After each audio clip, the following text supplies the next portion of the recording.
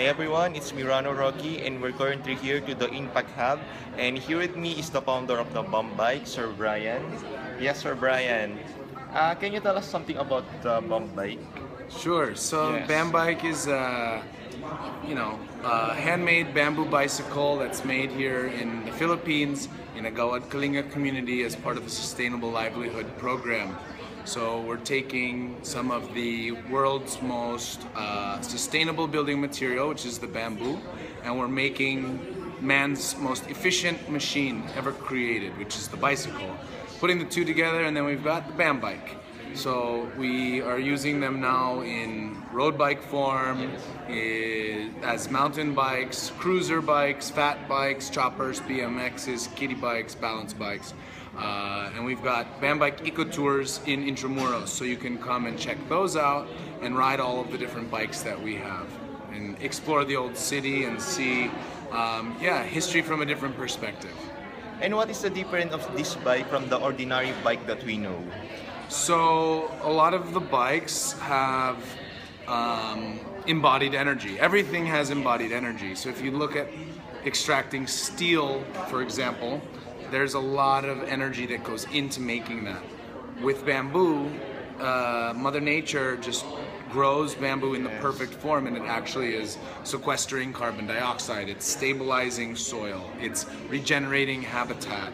So it's actually a very positive thing for the environment. And when you cut it, it regrows because it's a grass, it's not a tree. So it's a truly sustainable resource and it has a carbon negative, you know, impact. So you're, you know, doing a lot more for the environment. Um, in terms of bike performance, it's really great because you get vibration dampening. Bamboo's evolved over, uh, you know, millions of years to be strong and flexible. So that translated into a bike frame actually makes for a really smooth ride. Para walang sakit sa puwet. You know, the the bike frame really absorbs the road chatter and and vibrations and everything. So it's a really fun bike to ride, and you feel good because you know it's made in a local community. It's it's aesthetically pleasing. Maganda yan. Eh. Mm-hmm. And it's helping send kids to school. So Yes. part of the feeding program and the livelihood uh, is also education for the kids.